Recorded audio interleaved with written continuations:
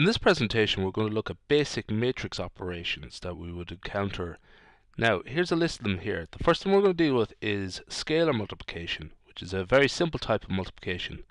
There's another type of multiplication in matrices, uh, in studying matrices called matrix multiplication and we're going to deal with that in a separate presentation because it is a very it's much more complex than scalar multiplication.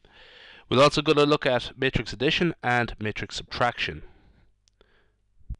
So first off let's look at scalar multiplication. Scalar is simply a scalar is simply a number like such as 1 or 2 or 3.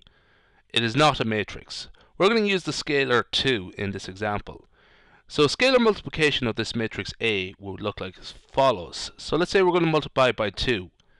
Uh, 2A. To compute the scalar multiplication, what we do is simply multiply each element of A by the, the, the scalar. So in this case, we're going to have 2 by 2, which is 4, minus 1 by 2, which is minus 2, plus 1 by 2, that is 2, and 3 times 2, that gives us 6. That's it, that's scalar multiplication, very straightforward idea. Again, just to emphasize, very different from matrix multiplication.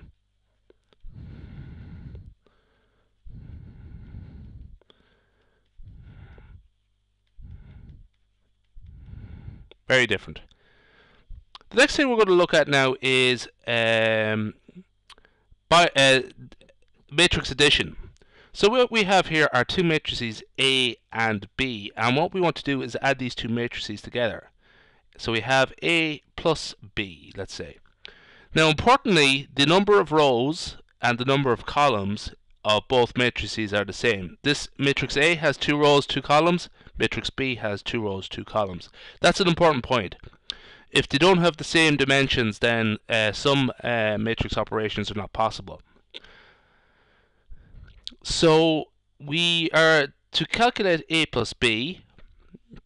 What we do is compute each uh, uh element-wise um, uh, addition. So we have 2 plus 1, minus 1 plus 0, mi plus 1 plus 1, so this one here and this one here, and 3 plus 2.